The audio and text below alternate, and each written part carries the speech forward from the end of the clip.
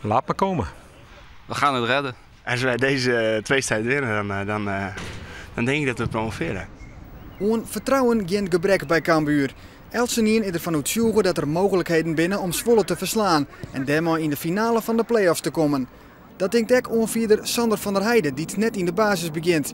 Hij komt erom van een blessure onder Liesk en is nog net fit genoeg. Of... Ja, opstelling is nog niet bekend, dus we weten niks maar.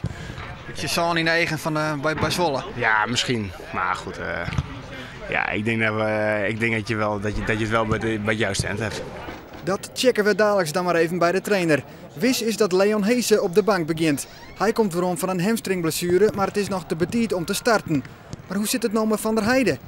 Sander uh, heeft drie weken uh, gerevalideerd van een, uh, van een liesblessure. Die is ook afgelopen maandag aangesloten. Die is wat verder als, als, als Leon.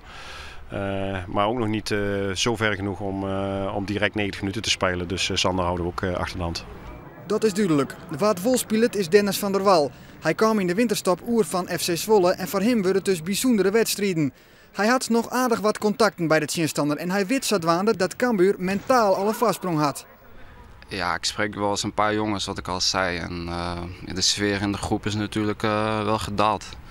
Die is niet meer zo goed als dat het eerst was. En uh, ja, als je zo het kampioenschap misloopt, dan heb je ook niet zoveel zin in de na-competitie. Dus ik denk wel dat ze, ja, dat ze hier naartoe komen. Met een bepaalde angst? Ja, dat denk ik wel, ja. Ek Henk de Jong bespeurt angst bij Zwolle.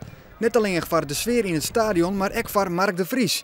De man die het Zwolle twee jaar heegst persoonlijk uit de play-offs knikkeren. Ik had het idee dat ze wat bang voor Mark de Vries zijn. Het gaat oorlog om Mark de Vries en dat die, uh, die Bottegien, uh, daar had er net zijn scoort nog en dat lees ik in de kranten. Dat is een goed teken voor ons. Dus vooral onvallend denken? Nou, we moeten de boel wat dicht houden. Want het, is een, je wil, uh, het is natuurlijk een hele goede ploeg, uh, met alle respect, ja, geweldig.